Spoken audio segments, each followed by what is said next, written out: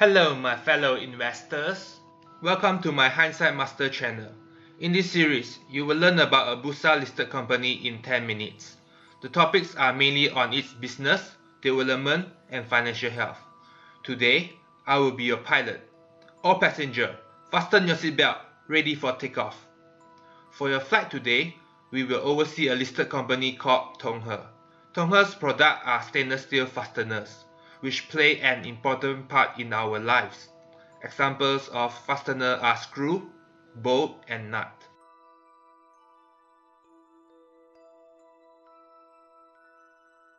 Tongher is a family business owned by Chai family, who are from Taiwan. Chai brothers have a few companies under their fastener empire. These companies include Tongming from China, Tonghui and Minghui from Taiwan. Tong Group started their first fastener factory in Malaysia in 1989, expanded to Thailand in 2004, and has diversified into aluminum products in 2010.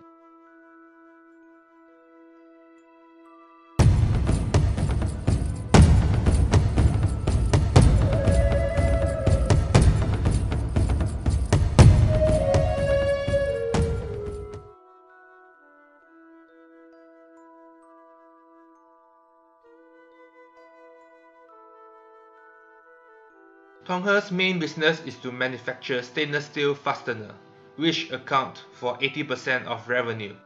So far, stainless steel fastener has two manufacturing sites, in Penang and Thailand.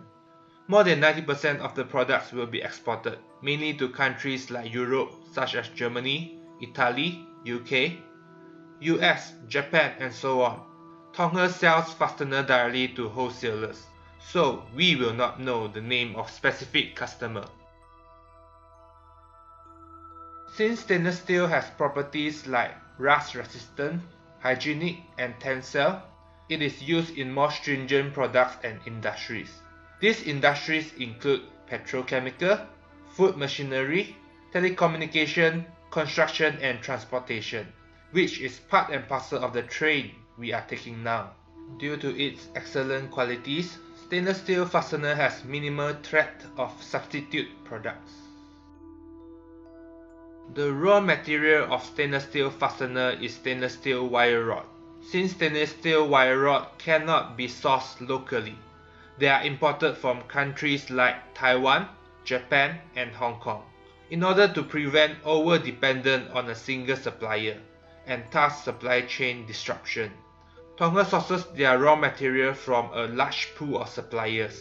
At the same time, Tongher sells their product to a large pool of wholesalers.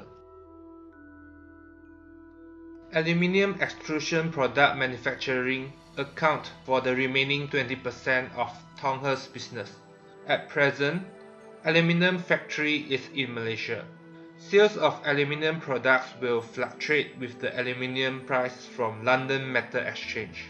The raw material of aluminum extrusion product is aluminum billet and ingot. Metal products such as aluminum is cyclical, so merchants will sell at the price on par to the cost.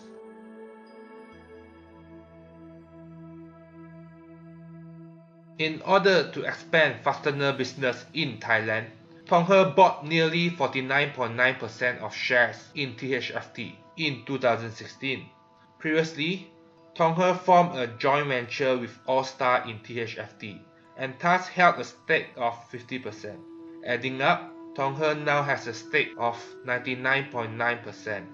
The acquisition will facilitate future plans on their business expansion, enhancing cost efficiencies and human resource development. In order to curb further potential loss in Fuko, Tongher has disposed its 35% equity interest in Fuko. Currently, Tongher is building a third fastener plant in Thailand and is expected to be completed in 2019 Q1.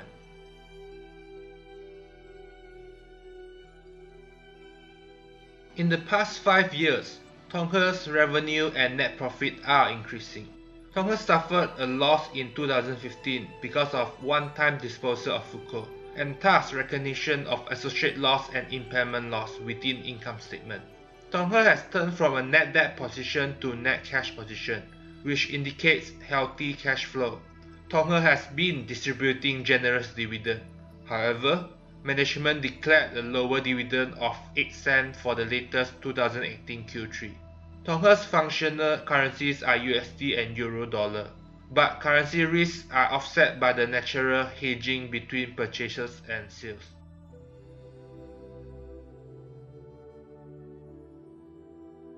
Recently, fasteners are highly demanded by European countries. Sales volume in Europe accounts for one quarter of the world. Europe requires substantial number of fasteners due to rapid growth in their three industries, namely automotive industry, construction activities, and industrial machinery. At present, Europe imports a large number of fasteners from Asia and is likely to increase significantly in the future. The EU anti-dumping regulation for China, Taiwan and Philippines have expired in 2017. Therefore, these countries can once again export fasteners to European countries. In order to protect their steel sector, EU imposed safeguard measures on steel in July 2018. The measures include quota and tariff on steel wire and bar but not including steel fasteners. From this measure, the price of steel wire rod will decrease, and the price of steel fastener will increase, which is the best scenario for Tongher. In global view, US-China trade war plays a big part. Trump imposed Section 301 tariffs on Chinese goods. Effective September 2018, Tariffs amount 10% will be imposed on steel products including fastener. Starting January 2019, the level of the additional tariffs will increase to 25%. As we know, politics can change much faster than business. Post G20 meeting, US and China announced that they will suspend the 25% tariff. However, the date of suspension has not been officially announced due to disagreement on the conditions. According to such political development, many businessmen are reluctant to set up new factories in countries without tariffs. They are afraid that when the factory commences operations, perhaps US-China trade war is over. As a result, fastener companies with existing factories like Tongher can export to US during this uncertain time frame. Recent world events such as US tax reduction, trade war and Brexit have no negative impact to Tongher. The major competition risk originates from Vietnam. Vietnamese government has granted tax and facilities benefits to attract foreign direct investment in Vietnam. So far, 600 fastener companies from China headed to Vietnam to establish factories. Vietnam is expected to be a major supplier of fastener in near future.